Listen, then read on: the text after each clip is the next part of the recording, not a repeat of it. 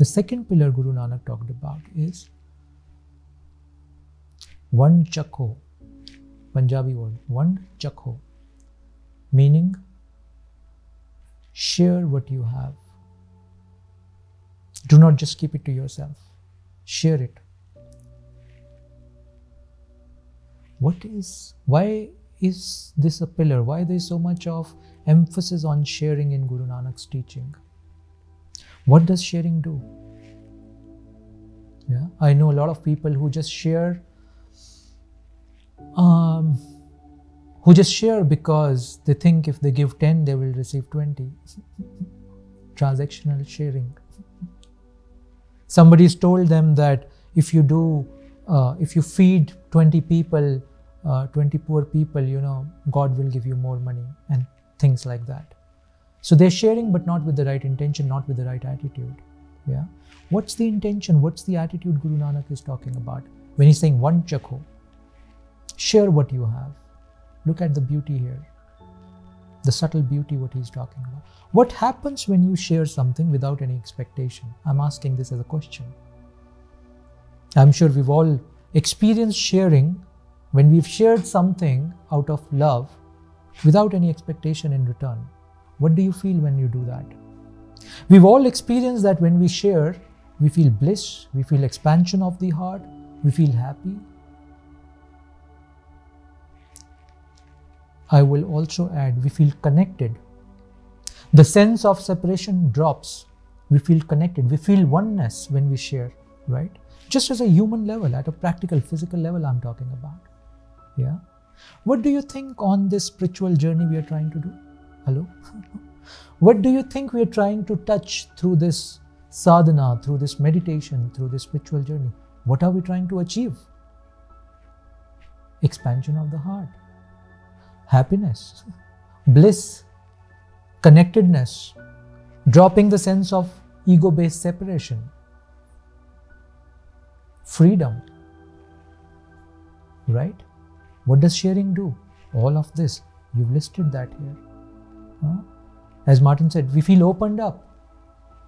What are we trying to do by doing meditation or spiritual sadhana? We're trying to open up to the world of possibilities. We want to open up towards ultimate reality. What does sharing do? All of this. Noelia says when we share, we become part of the collective. Yes. We become part of the collective. What is collective? The whole. This cosmos, this universe, we become part of that. Uh, it's like it's like my hand. This finger is feeling separate than the rest of the hand. When we share this finger starts to realize that it is part of the same hand. It is part of the same body. It is the body. If i pinch here the, the pain is felt. It is part of the whole. When we share we become part of the cosmic whole the cosmic collectiveness Friends, Guru Nanak was very deep. He knew, he had experienced all of this. He wanted to create a language, he wanted to communicate the truth in the most easiest, most direct way. He was not a mind, he was not a person of, you know, complicated thoughts or complicated theories. He was a being of heart. He just sang his truth which he shared with the world, which he continues to share with the world. And ways of the heart, friends, are always very simple, always very direct, very straight, no complication. So he said, Vand chakho, share what you have. Just by that sharing, you will start to achieve all that you want to achieve. The bliss, the expansion, the, the part of the collective, the, the ego self will start to drop. Observe, okay? Do, do a practice. Do a practice, observe. Whenever you share, and if your intention is not correct, your mind will become very active. Whenever you share, when your intention is not very clear, as Nanaji is saying, your mind will become very active. It will think, oh, I'm giving money to this person, what will he do with this money?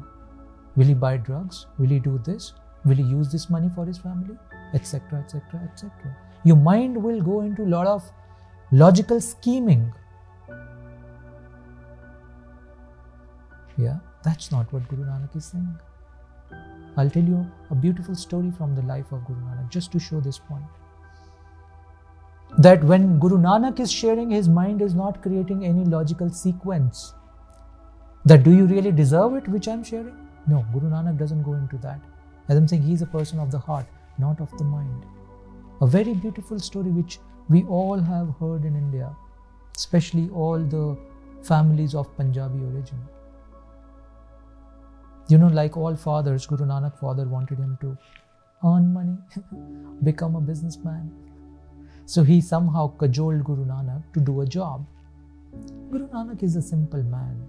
He said, All right, father, if you want to want me to do a job, I will do a job. He's a realized being. Huh? So his father sends him to a shop.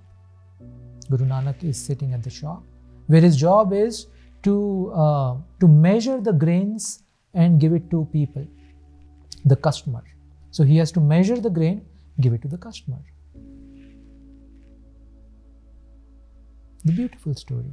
What Guru Nanak started doing. He will say, he will measure it like, let's say, if he's taking a scoop, he will take a scoop of grain, put it into your bag as a customer. He'll say one, two, three, four, so on and so forth. Now, the moment he will touch the figure 13, 13 is a very important number. Yeah, in the West, people are worried, you know, scared about 13. but Guru Nanak, because 13 in Hind, in Punjabi is called Tera. 13 in Punjabi is called Tera. Tera means yours. The story has a lot of significance. Huh? Yours. So the moment Guru Nanak is measuring the scoop and putting into customer's bag, the figure comes tera, 13, tera. So 13 in Punjabi means tera, yours. He just he just stopped at that counting. Now he's filling the scoop, putting in the bag, just repeating tera, tera, tera. It's all yours.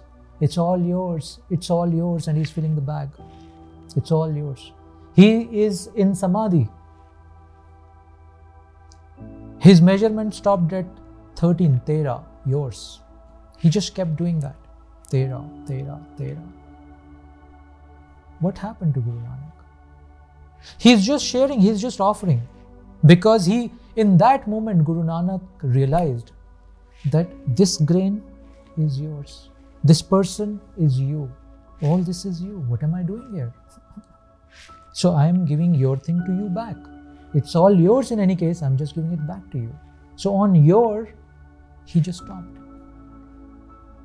Is Guru Nanak in this moment, is his logical mind active that, oh, this man has already too much, why am I offering him so much? I should offer more to the other person in the queue. Do you follow? No, he's not doing that. When it comes to sharing, he is a person of the heart. When he says yours, everything is gone. It's all yours.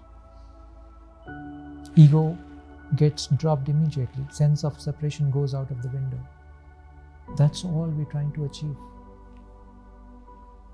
The straight, the direct, the simplest formula.